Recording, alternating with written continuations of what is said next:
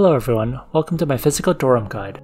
Dorams are my favorite class in the game and they are powerful and have lots of great skills. This guide will help you know what to do from a witch to a spirit whisperer in Ragnarok Mobile 2.0. I've split this guide into two parts. In this video we'll cover attributes, skills, runes, advanced runes, guild prayers and blessings, guild facilities, deposits, and oracle mirror.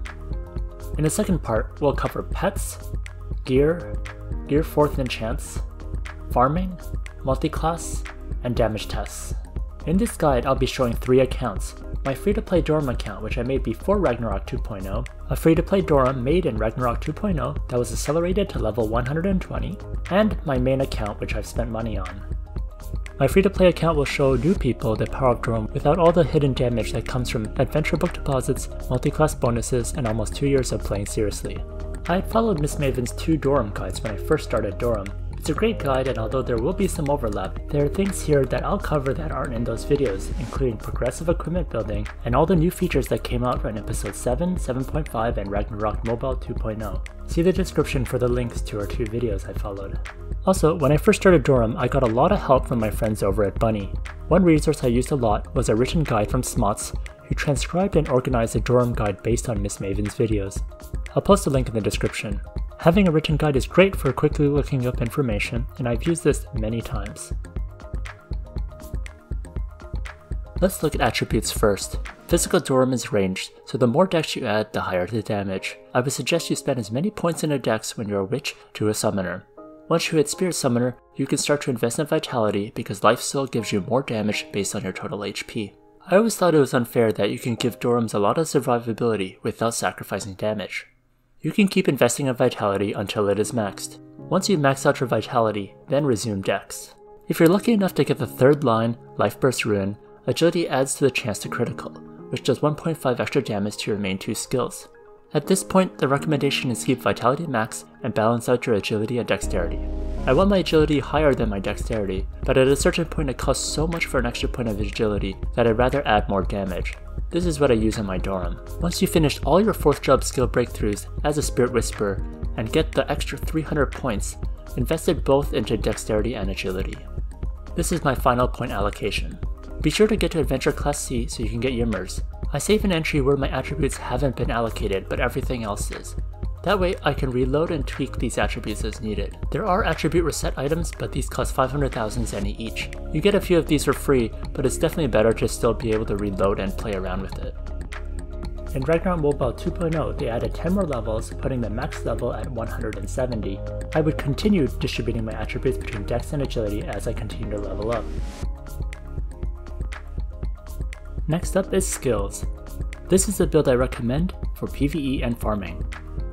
People may get confused as to why we're investing in the green magic line for a physical Doram. The reason is the Meowgrass skill, which grants an incredible 30% ignore defense and ignore magic defense when the enemy gets in that area. It's a fantastic buff for a party or for yourself, but requires skills to be invested in that magic line, which skills are colored green. One great quality of life change they did in Ragnarok Mobile 2.0 is giving everyone 5 auto attack slots to start and the skill play dead. Previously, you'd only have two auto attack slots and you'd have to do a quest to get play dead. Let's start with Witch. The first priority is level 10 Soul Bead, level 10 Soul Strike, then level 5 Stealth, level 10 Stoop, level 5 Jump.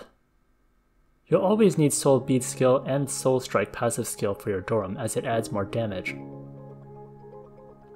Your auto attack will be your auto attack wand skill, Early on, do the story mode to gain EXP and to get the Spiritualist as soon as possible. Auto attacks are magic, so Dex won't add to that, but just suffer through it for a little bit. Next up is Spiritualist. Get level 10 Picky Peck, level 5 Curled Beetle Charge, level 3 Fresh Swamp, level 10 Shrimp Swamp, level 5 Meow Crowd, level 3 Toro Trauma, level 3 Kiwi Stock Gun, and level 1 Kiwi Rootstock Twining. Let's take a look at these skills. Picky Peck is a quick attack with low cooldown. It's just a temporary damage skill that you use until you become a summoner. It has a lower cast delay than Toro Trauma, so I use this instead. Next is Meow Crowd. If you have cats in your party, including mercenary cats, it adds to your HP even if they're expired. That's up to 20% extra HP, which is so broken. Next is Curled Beetle Charge. The more agility is always better, so I also use this late game because I have the Life Burst rune. Next is Shrimp Swamp. This just adds extra damage and I do use this late game as well. Your auto attack will be the Picky Peck, Curled Beetle Charge, Shrimp Swamp, and Play Dead. Next up is Summoner. Get level 10 Lunatic Carrot Pound, level 10 Life Power, level 1 Night Vision, level 5 Cat Sight, and level 5 Hiss. Then go back to Spiritualist skill and add one more point to the Catnip Meteor. Then get Catmint Powder to level 5 and Earth Power to level 3. Once you hit the breakthrough as a summoner, let's invest additional points to keep boosting our important skills. First get level 15 Lunatic Carrot Pound, then level 20 Life Power, then level 20 Soul Bead, and finally level 10 Curled Beetle Charge. Let's take a look at these skills. Lunatic Carrot Pound is one of your main AoEs and it is convertible with elemental converters. This is insane because most AoE is elemental locked. Next is Life Power. This gives you more HP, so that'll give you more damage later. Next is Cat Sight. You get 10% ignore defense through this passive skill. Your auto attack will be Lunatic Carrot Pound, Soul Bead, Shrimp Swamp, and Play Dead. Even if you have the third line for Life Burst, you shouldn't rely on this for farming, so I don't put Curled Beetle Charge in my auto attack. Now let's look at Spirit Summoner. First get level 1 Formidable Meow, then level 1 Savage Soul, then get level 20 Life Soul. Then go back to maxing level 10 Savage Soul. Finally level 1 Dried Lifesaver Fish. Then level 10 Earth Power, then level 5 Meow Meow, level 5 Meow, and then get level 10 Meow Grass. And then you can put 1 point into Tuna Steak. If you prefer to heal more, you can take out some points from Meowgrass and put it into Tuna Steak. For example, you can still have level 5 Meowgrass and still have 30% ignore defense. You're going to have quite a lot of skills now, so you might want to consider getting to Adventure Class B and unlocking Prepare for Elite. You'll be able to put multiple skills in there and save you slots on your auto attack bar. Your auto attack will be Lunatic Carrot Pound, Savage Soul, Soul Bead, Shrimp Swamp, and Play Dead. You can also include Lunatic Gunner, which you can get from Runes, Ideally, your Lunatic Gunner one-shots monsters when farming, so you don't end up getting stunned by partially killed monsters. You can remove Soul Bead if you need to free up some slots. Let's go through these skills. First, Savage Soul, as if Lunatic Carrot Pound wasn't enough to give us another convertible AoE. Then there's Life Soul, which is what I think makes Doram super broken. The more HP you have, the higher your damage.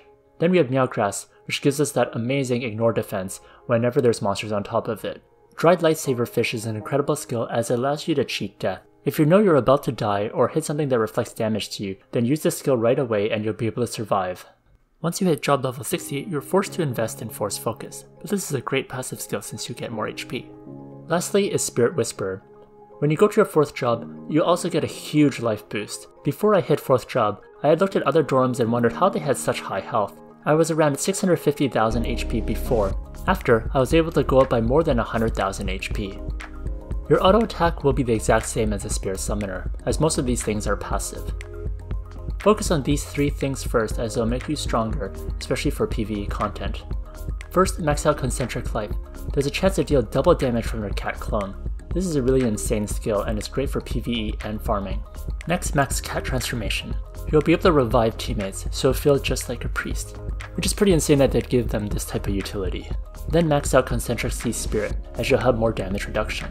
Next I went to max out Natural Rage, this will give you faster Lunatic Gunner speed. If you happen to do PvP, then you can do Sharkfellow and Dolan Trick as those are pretty useful skills. This is my skill setup when I'm not doing farming, and I'm doing PvE content like Endless Tower, Oracle, or MVP hunting. On auto attack I have Savage Soul and Lunatic Carrot Pound.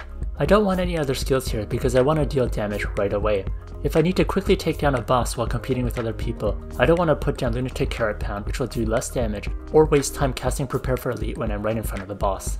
I keep those skills in my manual skill slot so I can cast that whenever I need to. I only cast Lunatic Carrot Pound and the Meowgrass when I'm already engaging with the boss. If I know I'll be dealing with a monster that will reflect damage such as Kobold Leader, or a monster that can insta-kill you like Firelord Kaho, I'll manually cast Dried Lifesaver Fish to ensure I don't die right away. Next, we have runes. I will quickly go through the priority order of the runes I found most useful. These will help support skills you mainly use and make you do more damage. For the tier 1 to 2 monument, focus on getting Soul Strike penetration, Lunatic Carrot Pound effect, Curled Beetle charge agility, Dex, and Ignore defense. Next, for the tier 3 monument, focus on getting Life Soul limit, Savage Soul effect, Lunatic Gunner 1 to 5, Max HP percentage, Vitality, Dex, Ignore defense, and Shrimp Swamp attack. With any spare contribution you have, you should use it towards filling out HP and attack nodes.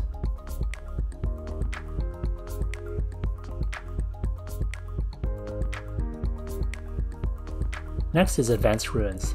Pray that you will get the Life Burst third line rune. Even if you don't have this rune, you still will do a lot of damage. However, if you want to do the crazy amount of damage you see in many YouTube videos, you definitely need this third line rune. Each week, just keep buying runes from the rune shop in Prontera, and keep doing things that will give you runes as a reward. Eventually, you'll get it. You can also keep trying to roll for it using Precision Smelting, where you sacrifice 5 S runes to get one for your class, and also, if you have 3 Life Burst runes that don't have the third line, you can attempt a reroll with Attribute Synergy. I wish you luck. There used to only be 3 nodes that you could use for advanced runes, but now there are so many that you have a lot of choices. Here's my priority list. First, get Life Burst rune, third line. There is a 12% chance to get it. Next is the Meow Hunter S rune, which is great for farming since it resets your skill cooldown.